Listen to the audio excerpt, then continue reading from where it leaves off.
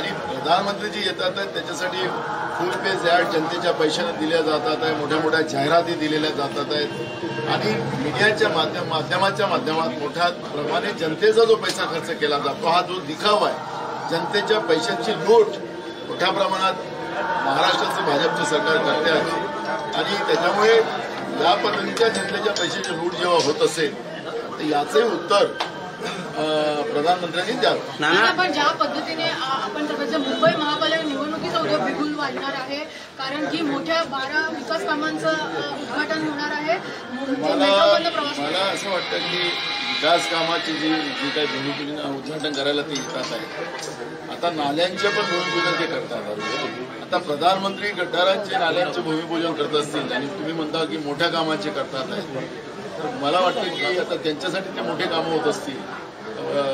वाटत नाही पण प्रधानमंत्री हे गेले नऊ वर्ष आपण या देशामध्ये पाहतो. त्यांनी देशासाठी कमी आणि देशामध्ये प्रचारच मन की बात आणि मोठ्या मोठ्या घोषणा याच्याशिवाय त्यांनी काहीच केलं नाही. निवडणुकीचा प्रचार भाजपचा तेवढंच ते त्या खुर्चीवर बसून करतात नाही असं चित्र आपण पाहतोय. आणि म्हणून महानगरपालिकेच्या निवडणुकीमध्ये पुन्हा प्रचारक म्हणून ते येत असतील. ते त्यांचा प्रश्न. नाना उद्या पंतप्रधान नरेंद्र मोदी मुंबईमध्ये येत आहे त्यानिमित्ताने जर पाहिलं तर भाजपकडून असं सांगितलं जात आहे. ते फेरीवेल आहेत की तुम्ही भाजपचे टी शर्ट घालून या आणि उद्या सभेसाठी उपस्थित राहा.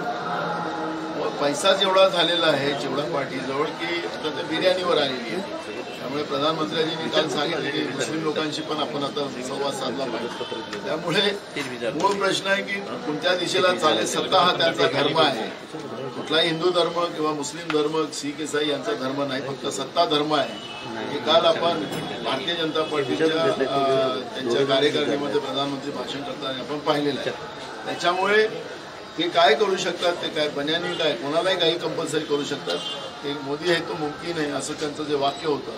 त्याच्या प्रकारची ती प्रथा आहे. नागपूर आणि नाशिक नागपूर आणि नाशिक या विधान परिषदेच्या निवडणुकीत महाविकास आघाडीला अंतर्गत कल परंतु कुठेही कला नाही आहे. तुम्हाला माध्यमांनी निर्माण केलेला कला आहे. आणि त्याच्यामध्ये आज ही स्पष्टता तुमच्यासमोर येईल मी मगापासून सांगतोय.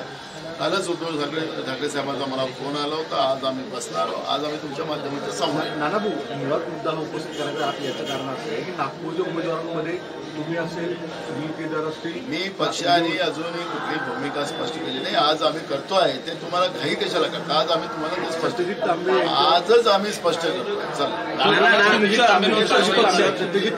मी आज आज आम्ही पक्ष म्हणून महाविकास आघाडी म्हणून आम्ही आज स्पष्टता तुमच्यासमोर मांडतो तुमच्याच पक्षात एक तुमच्याच पक्षातल्या नेत्यांनी तुमच्या कॅन्डिडेटवरती प्रश्न उपस्थित केला जातो. ज्यावेळी तुमच्या पक्षातले नेते दिल्लीत जाऊन खरगे साहेबांना पत्र येतात? बघा मी काही संस्थानिक नाही मी काही सोन्याचा चम्मच घेऊन जमा आलो नाही मी काही बिल्डर नाही मी एक सामान्य शेतकरी आहे आणि एक कार्यकर्ता आहे.